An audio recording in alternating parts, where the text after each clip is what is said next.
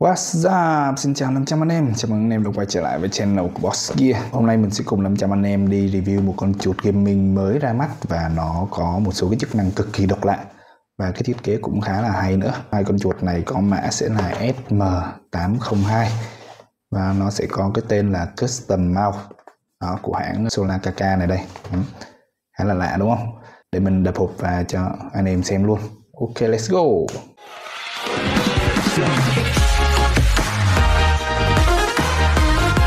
Hiện tại thì mình sẽ có hai phiên bản màu, đó là phiên bản màu đen. Đây.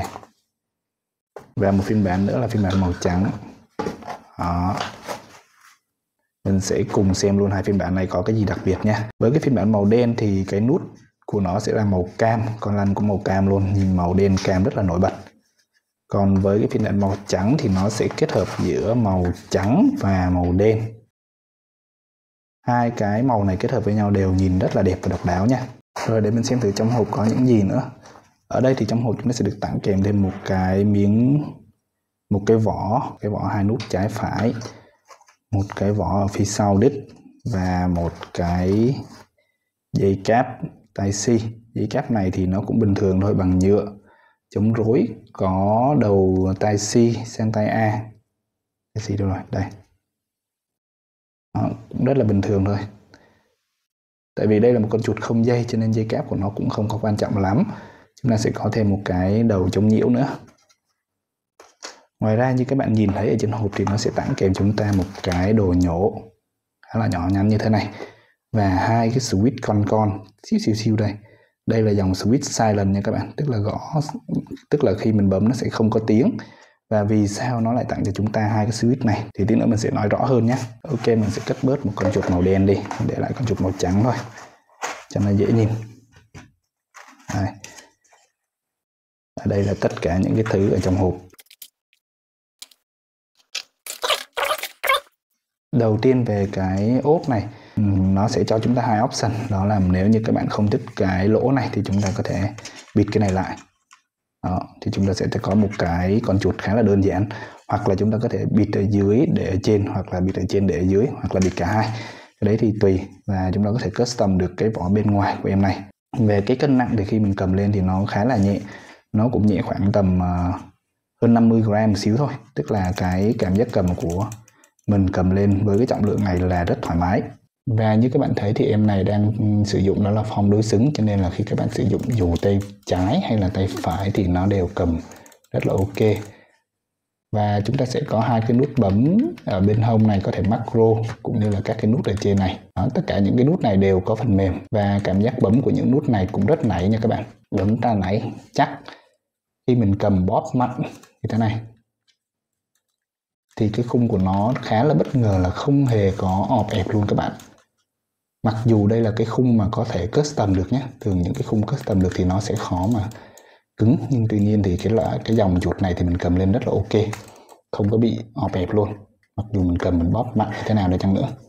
Và cái bố trí hai nút để tay vào thì thực sự là không bị cấn luôn, rất là vừa. Tuy nhiên thì với những cái bạn nào mà tay tay nhỏ thì với những con chuột này thì nó sẽ hơi dài một xíu thì nó sẽ phù hợp với những bạn tay to mà cầm finger hoặc là cầm pau thì vẫn ok. Còn cầm palm thì nó cũng sẽ hơi hơi nhỏ so với palm nhưng mà nó vẫn sẽ hơi dài. Nói chung là cái kiểu thiết kế này là kiểu dạng trung bình rất là dễ phù hợp với rất là đa, đa số nhiều người sử dụng. Tiếp theo ở phía dưới thì chúng ta thấy được là sẽ có tên hãng này đó, tên chuột. Những cái ờ, fit fit của em này thì khá là to. Fit của em này thì rất là to nha các bạn. Đấy, à, miếng fit ở trên đây chúng ta cũng có thể thay được ở đây chúng ta sẽ có một cái chỗ cất cục receiver. Vì là con chuột không dây cho nên chúng ta có thể dùng cái này để cắm vào PC mình sử dụng cho nó nhanh. Tốc độ kết nối nó cũng ổn định hơn. Ở đây thì à, chúng ta sẽ có một cái nút chuyển đổi giữa các mod. Sẽ có 3 mod hai mod bluetooth một mod 2.4g nha các bạn. Ngoài ra thì chúng ta sẽ có một cái cần gạt ở bên này để chuyển sang là tắt hoặc là bật led. Đó, thế thôi.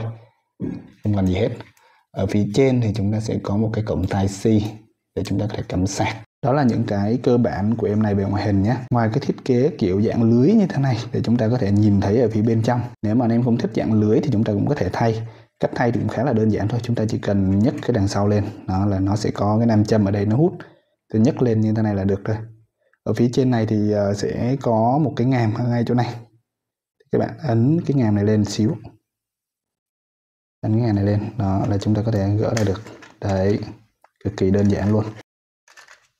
Rồi, ok. Như vậy là chúng ta có thể hoàn toàn tháo được cả phía sau lẫn phía trước luôn. Cực kỳ đơn giản. Lúc này thì chúng ta có thể thay được nhé. Đây, chúng ta thay được cả cái click. Nếu như các bạn không thích cái kiểu clip mà nó có cái lỗ đó thì chúng ta có thể thay bịt kín lại như thế này. Cho nó hoàn toàn là phẳng luôn. Ở phía sau cũng vậy các bạn nhớ lưu ý là phải để đúng khớp nhé thì nếu như mà không đúng khớp á thì khi mình lắp vào chúng ta nó, nó sẽ hơi cấn cấn một xíu. Tuy nhiên khi đúng khớp là cái nam châm ở dưới này nó tự động hít vào luôn và chúng ta sẽ có cái độ khít như thế này khá là ok. Chất liệu nhựa của con này thì làm không phải thuộc dạng quá là nhám nhưng mà nó vẫn có cảm giác một chút. Cho nên là nếu như các bạn nào mà thích nếu mà tay hay ra mồ hôi ấy, thì chúng ta sẽ có thể dùng cái này để cho nó thoáng khí dễ cầm. Còn nếu như mà các bạn muốn thích sự đơn giản mà cũng ờ, không có màu mè quá nhiều thì sẽ dùng cái này. Tại vì nếu mà dùng cái này thì nó sẽ che hết cái hai cái dàn led ở đây. Để mình bật led lên cho các bạn coi. Đấy, em này còn được trang bị led RGB 2 dài ở đây luôn. Nhìn cực kỳ đẹp. Nếu như mà chúng ta sử dụng cái này nha thì chúng ta vẫn có thể nhìn led được. Tuy nhiên thì nếu như mà chúng ta sử dụng cái vỏ này thì nó lại bịt hết led. Thì cái này là tùy sự lựa chọn thôi. Nếu như mà anh em không cần led mà chúng ta cần một cái lượng, thời lượng pin sử dụng cực kỳ châu bò thì có lẽ là mình thấy chọn cái này là ok này. Hoặc là mình không cần bật led cũng được là chúng ta, tay của mình mà hay ra mồ hôi á, thì chúng ta có thể chọn cái này nhé, để cho nó thoáng. Ok, đó là tùy sự lựa chọn của các bạn thôi. Về cái hiệu năng thì em này vẫn có thể đáp ứng được đủ cho anh em chơi các những cái tựa game FPS à, đơn thuần hoặc là những cái game à, mobile bình thường thì vẫn ok và cái đặc biệt nhất của em này đó chính là đến từ cái phần click này. Mình cũng không rõ là của thằng nào để mình lấy ra nhé. Đó rất là nhẹ nhàng luôn. Chúng ta có thể biết được. Em này đang sử dụng switch của Vano Đó, với cái switch Vano thì con này sẽ có độ bền khoảng tầm à, 20 triệu các bạn ạ. Tuy nhiên thì như các bạn nhìn ở dưới đây này chúng ta sẽ thấy được một cái hot swap, một cái hệ thống hot swap, tức là giúp cho chúng ta có thể thay nóng được các cái dòng switch. Và cái con bên này cũng vậy, chúng ta có thể lấy tay cũng được, nhổ ra cực kỳ dễ dàng luôn, hai bên. Sau đó thì chúng ta có thể thay cái dòng switch này vào. Đây đây chính là cái dòng switch mà cái hãng để tặng kèm cho chúng ta chúng ta có thể cắm vào. Ok, như vậy là cái switch silent thì anh em nhớ là phải cắm ngang nhé, tức là hai cái cắm cái kênh của nó sẽ nằm ở ngang như thế này chứ không phải dọc như là cái dòng switch bình thường. Đó, sau khi cắm vào mình đánh chặt vào là nó sẽ cố định hai bên. Chúng ta sẽ lắp thử cái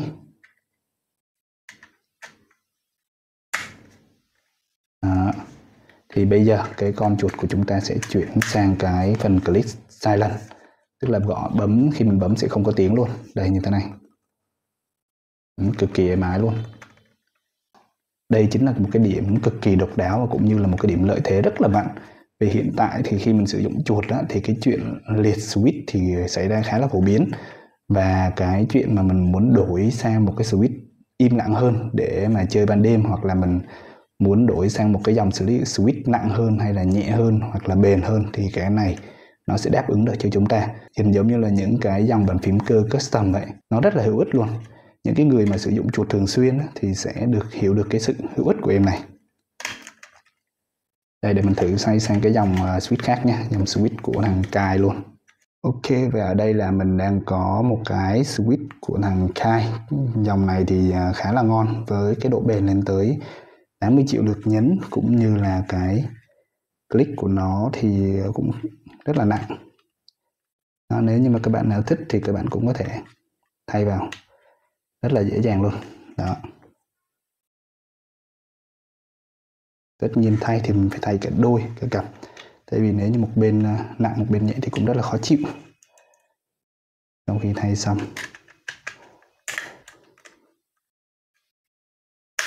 Đó. Rất là nhanh. Chỉ khoảng tầm 30 giây là chúng ta có thể thay xong con chuột rồi. Và cái tiếng bấm của nó cũng sẽ khác hoàn toàn luôn đây là một trong những cái thiết kế mà mình nghĩ là đi có lẽ là nó sẽ là tiên phong cho những cái dòng chuột hot swap sau này. Ngoài ra con em này có một cái đặc biệt nữa là chúng ta có thể tháo được luôn cả cái nắp pin ra. Đó, chúng ta cần trượt. Như vậy là chúng ta còn thấy được cả đèn logo này chúng ta thấy được cả cái chân cắm pin này và cục pin ở đây của chúng ta sẽ là 450 mAh vậy là khi mà chúng ta cần thay pin thì chúng ta cũng có thể gỡ cái này ra thay một cách cực kỳ dễ dàng luôn. Hot swap cả cục pin luôn. Vậy là không, hầu như con này chúng ta sẽ không phải tháo ốc vít khi mà để thay switch bấm cũng như là thay pin luôn. Quá là tiện lợi. Nếu như mà anh em muốn thì anh em có thể gỡ cục pin này ra. Mua một cái mã pin y chang như vậy, bán ở trên mạng rất là nhiều, chúng ta có thể thay được.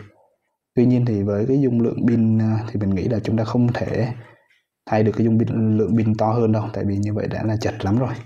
To hơn thì có lẽ sẽ không nhét vừa các bạn lưu ý là nhớ mà lắp thì phải lắp cái phần nút bấm trước nhé rồi sau đó mới lắp phần lắp ở trên sau. Ok, như vậy là mình đã review sơ qua cho anh em con chuột Solar KK SM802 một trong những cái con chuột mà mình nghĩ là nó sẽ đi tiên phong trong cái dòng chuột hot swap.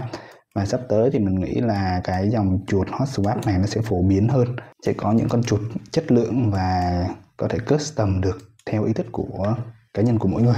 Như mình, cá nhân mình sử dụng qua nhé thì con này sẽ có những cái ưu điểm đó chính là custom được ờ, đẹp, thay được cả switch quá ngon. Chúng ta sẽ có một cái kiểu cầm nắm dễ chịu. Tuy nhiên thì với cái vỏ của con này nó sẽ làm hơi trơn một xíu, cho nên là khi mình cầm thì nó sẽ khá là trơn. Và rất tiếc là cái con này thì nó lại không tặng cho chúng ta kèm thêm grip tape cho nên là nếu các bạn xin thì các bạn có thể lên mạng mua cái grip tape mà người ta bán sẵn một tấm to mình về mình cắt ra. Thế thôi để cho nó cầm bám bám tay tốt hơn. Ngoài ra thì mắt đọc của con này tất nhiên là không có xịn lắm rồi. Uhm, tại vì con này thì ờ, giá nó cũng rẻ khoảng hơn 500 ngàn thôi chứ không có cao mà chúng ta sẽ có rất là nhiều chức năng. À, đặc biệt là nó sẽ có thêm cái hệ thống đèn led RGB rất là đẹp. Những con chuột ờ, không dây thì mình thấy cái đèn led RGB này nó không có được chú trọng lắm tuy nhiên thì cái điểm hại của đèn led nhiều thì nó sẽ là nhanh hết pin. Cái tổng kết lại với anh em thì với con chuột tầm giá 500 ngàn như thế này thì được quá là ok rồi. Nếu như mà anh em nào mà thích ờ, một con chuột mà có thể nói là độ bền gần như bất tử như con này tức là không cần phải đi ra tiệm thay luôn mà chúng ta có thể tự thay được thì uh, mà lại còn có thể custom được cả vỏ cả switch thì con này có lẽ là đây là một trong những sự lựa chọn đáng giá nhất của anh em trong tầm giá rồi và tất nhiên thì à, nếu mà anh em muốn chai hát, chơi game ờ, kiểu set go để chai hát thì con này có thể là sẽ không ngon bằng một số con sử dụng switch, sử dụng cái mắt đọc Pitap 395 nhưng mà với cái mắt đọc này mình thấy là nó vẫn có thể đáp ứng được cho anh em một số cái tự game. Nói chung nếu mà chơi game bắn súng thì vẫn là ok nhé tuy nhiên thì những cái bạn nào GoPro thì có lẽ sẽ không đáp ứng được. Và nếu như mà anh em muốn tham khảo giá bán của em này, cũng như là cấu hình chi tiết thì anh em có thể click vào link trong phần mô tả của video nhé. Cảm ơn 500 anh em đã theo dõi video. Nhớ like, share ủng hộ kênh Bossier đấy. Bye bye.